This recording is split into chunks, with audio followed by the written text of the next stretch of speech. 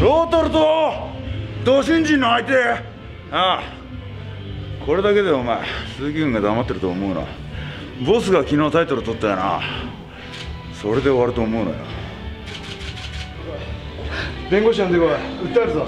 新日本プロレスタッグ中立系訴えるからね今から。なあ。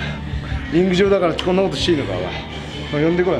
顧問弁護士新日本プロレスのだよしかも。訴えてやるよ。おい。俺対新日本プロレスだよ。もう裁判沙汰だよ。こうなったら。やってやるよ。儲けてんだろ。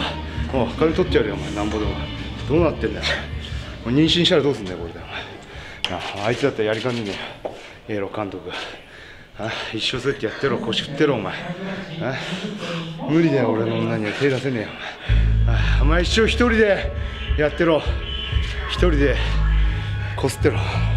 気持ち悪い訴えるかんなてめえ訴えてっかんな女の死に何来るなお前おい量出てこいお前なんやろお前何来るな絶対俺が弁護士してるからなお前弁護士なんか訴えてるかんなてめえ完璧嘘してるからな俺次は引きずり込んでやるな俺ケツ打ってるよ俺なんじゃふざけんじゃねえ俺ボケあんとる次やってっかんなこの野郎本当にやってっぞこれ。全部。あなた言うな全部やったっぞこれ。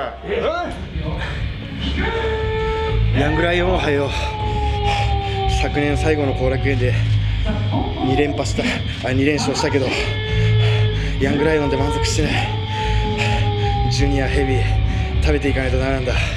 昨日の棚橋さんの分まで鈴木が覚えとけよ。絶対勝ってやる。